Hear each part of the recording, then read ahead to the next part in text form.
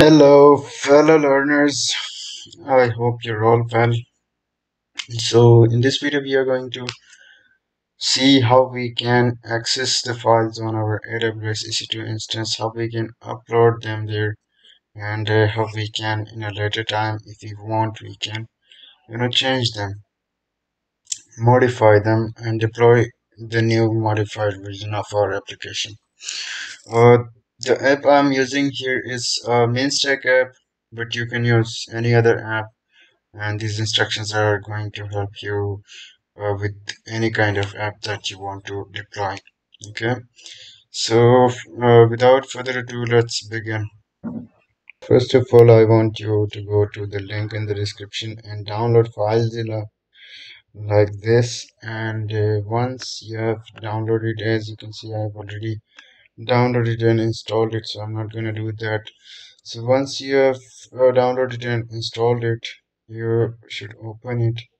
And once it's open click on the site manager that's on the top left corner and click on new site then select SFTP from the protocols and uh, you should navigate to your AWS console on your AWS console search for EC2 okay if you have already uh, been working on it you'll see it on the left side. Click on ec2 and then click on running instances.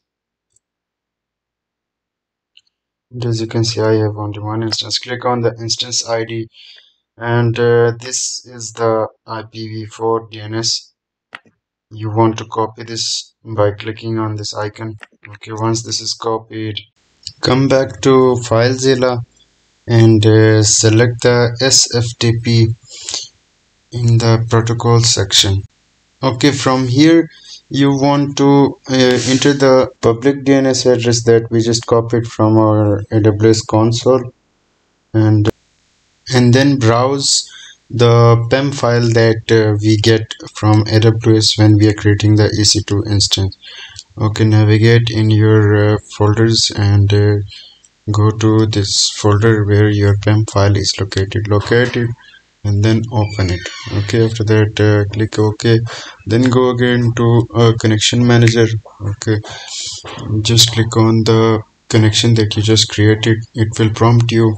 Click yes after that uh, it will you know load the uh, file structure folder structure from AWS in this FileZilla on the right side you can see all these files. They are displayed. They are from your AWS console.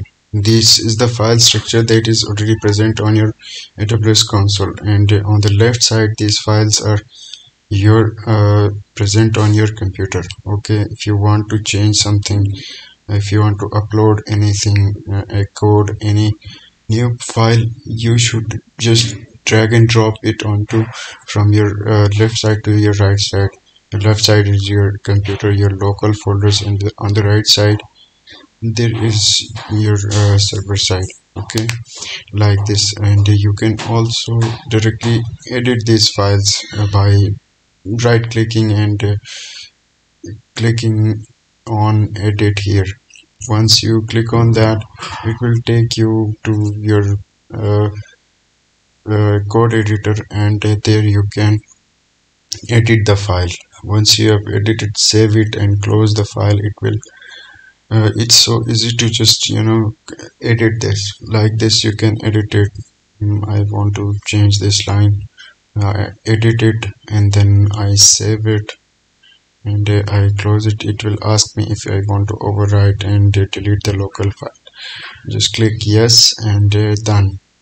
Uh, that's it for this part of the tutorial. If you want to see how we can uh, set up an EC2 instance or access it through SSH uh, via our command line and run different uh, tasks. For example uh, you want to install something on your server and the initial setup. Whatever you want just comment down below.